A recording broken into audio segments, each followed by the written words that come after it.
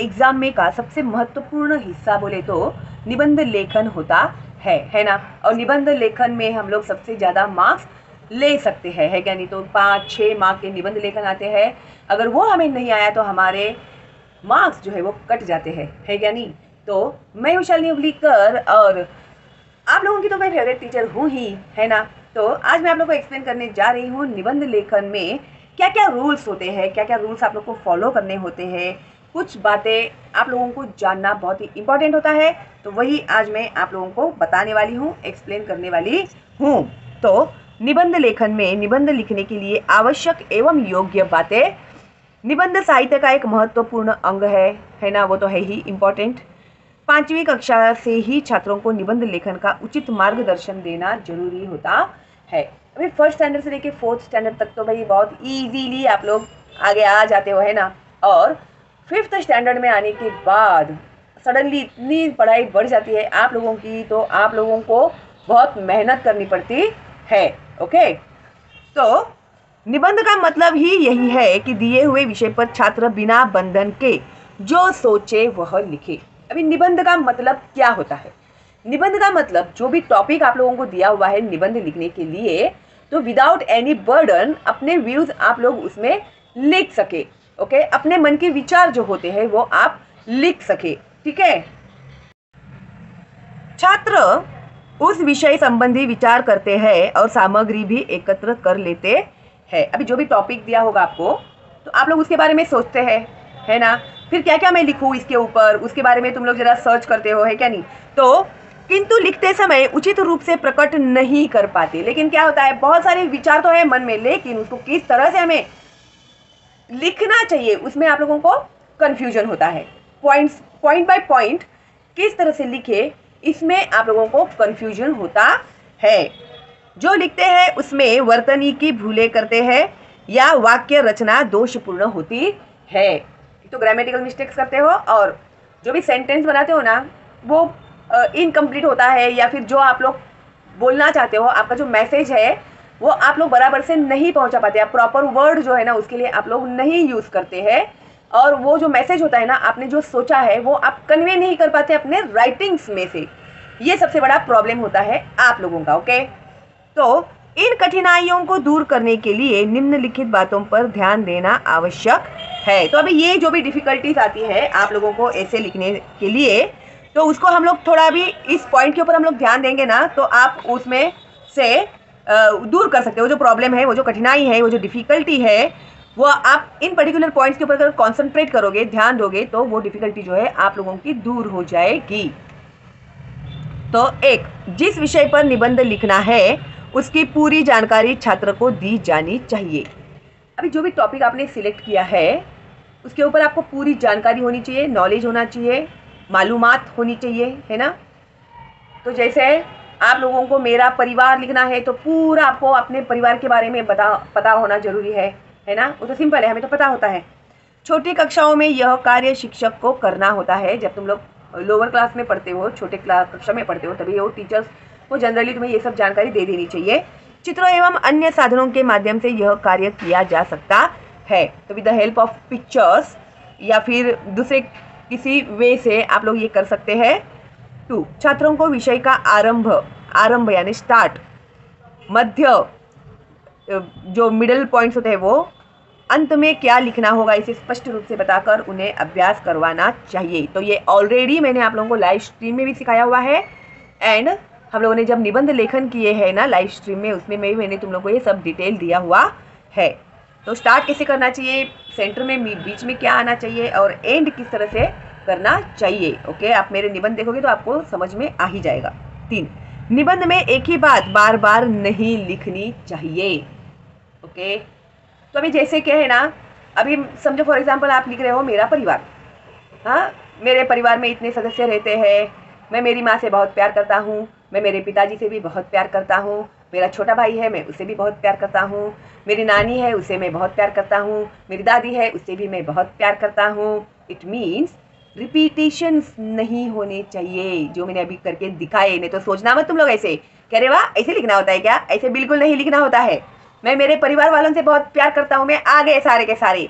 एक एक एक को इंडिविजुअली मेंशन करके अगर आप रिपीटेड लिख रहे हैं एक ही वाक्य तो वो अलाउड नहीं है ओके हाँ।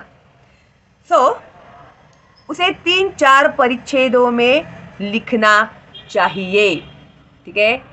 या फिर अलग अलग एंगल से तुम लोग उसे लिख सकते हो। जैसे मेरे परिवार सिंपल मैंने जैसे बताया कि मैं मेरे परिवार वालों से बहुत प्यार करता हूँ। हम एक दूसरे का बहुत केयर करते हैं, बहुत ध्यान देते हैं ओके तो whatever it it will be then for निबंध की लिखावट सुंदर और स्पष्ट होनी चाहिए, जो बहुत बड़ी ट्रेजिडी होती है तुम लोगों के साथ में। लिखने को बहुत कंटाल आता है तुम लोगों को, है ना? और स्पेशली हिंदी एंड मराठी के लिए तो पूछो ही मत। क्योंकि मैंने देखे हैं ना नोटबुक्स बच्चों के स्पेशली हिंदी एंड मराठी में बारह खड़ी लिखने के लिए देते हैं ना उन लोग को माई गॉड देख के ही पता चलता है कि कितना कंटाला करके लिखा हुआ है भाई। जब लिखना ही है, कोई काम करना ही है तो कंटाला करके क्यों करना है तुम लोगों को? मेहनत करके भी थोड़ा मन लगा के करो ना।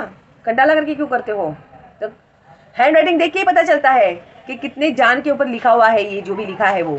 ठीक है? तो बिल्कुल आप ऐसे मत करना, ईमानदारी से। जो भी काम करो, ईमानदारी से करो भाई। मैं तो यही कहती हूँ। तो लिखावट सुंदर होनी चाहिए। भाषा शुद्ध और वाक्य छोटे छोटे एवं सरल होने चाहिए।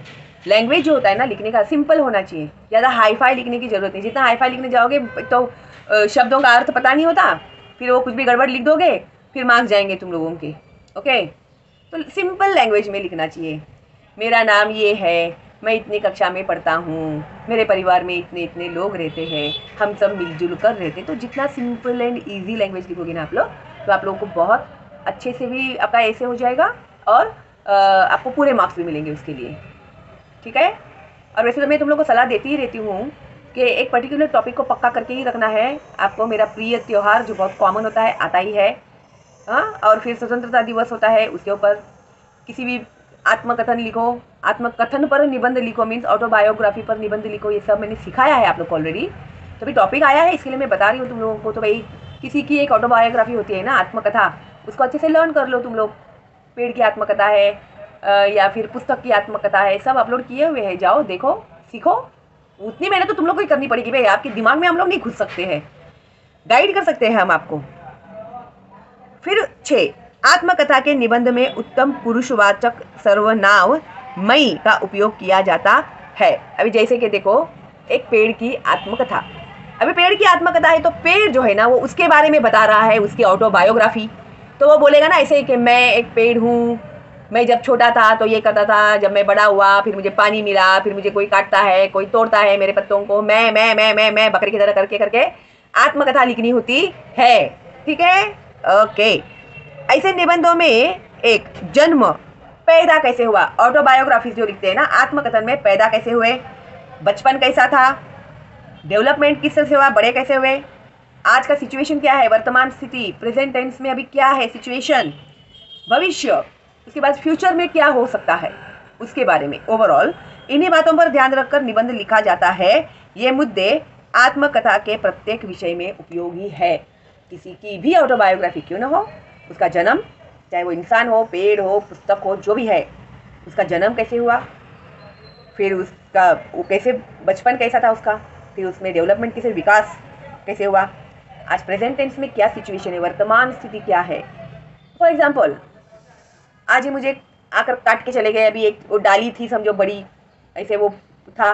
उसने बताया, भाई, आज ही मुझे काट के चले गए। अगर आप ऐसे ही काटते रहोगे, या फिर मुझे काटने वाले हैं बोलो, कल मुझे आकर काटने वाले हैं बोलो पेड़ रो रहा है। तो अगर इसी तरह से अगर आप लोग काटते जाओगे मुझे तो भविष्य में आपको कार्बन डाइऑक्साइड ही है ऑक्सीजन मिलेगा ही नहीं, आपको खाना नहीं मिलेगा, आपको फल नहीं मिलेगा फ्रूट नहीं मिलेगा, कुछ भी नहीं मिलेगा आप लोगों को ओके तो कोई भी ऑटोग्राफी ऑटोबायोग्राफी होती है, आत्मकथन होती है तो ये पॉइंट्स आपको उसमें कवर होने चाहिए, ठीक है? और जो मैंने एक्सप्लेन किए हुए ना, आप लोगों को निबंध, ये सारे पॉइंट्स हम लोगों ने ऑलरेडी कवर कर दिए हैं तो प्लीज़ आप ज़रूर देखिएगा प्ले में जाकर जो भी विषय आपको चाहिए, वो विषय के लिए निबंध ऑलरेडी अपलोडेड है। हाँ अगर नहीं है कोई आपका टॉपिक भाई तो मुझे ज़रूर कमेंट करके बताना, मैं अपलोड करूँगी आप लोगों के लिए, ठीक है? और एक निबंध भी मैं आपको एक्सप्लेन करूँगी, वैसे मैं करती हूँ तो किस तरह से पॉइंट्स आप कवर करोगे, वो हम लोग देखते हैं, ठीक है? तो सबसे पहले आप लोग ये समझ लीजिएगा निबंध लेखन करते समय कौन सी कौन सी बातें हम लोग को जाननी आवश्यक होती है, जो मैंने एक्सप्लेन किया आपको अभी ही। तो अभी आप लोग आई होप लिख सकते हैं। तो मैं हमेशा आपको बोलते रहती हूँ कि रीड किया करो रीड किया करो अपने लेसन्स हर रोज़ रीड किया करो, हर रोज़ टेबल एक बार रीड किया करो, ताकि एवरीडे अगर आप करोगे ना तो आपको बहुत ज़्यादा लोड नहीं आएगा। फिर परसों एग्ज़ाम है और आज लेके बैठ गए बुक ना तो कुछ भी फ़ायदा नहीं है उसका, ठीक है? तो आप लोगों को हर रोज रीड करना चाहिए, हर रोज एक सब्जेक्ट का लेसन रीड करना ही चाहिए ओके तो चलो दिन मिलते हैं बहुत जल्दी ही अगली वीडियो में, तब तक के लिए ऑल द बेस्ट आप लोगों को एंड बाय बाय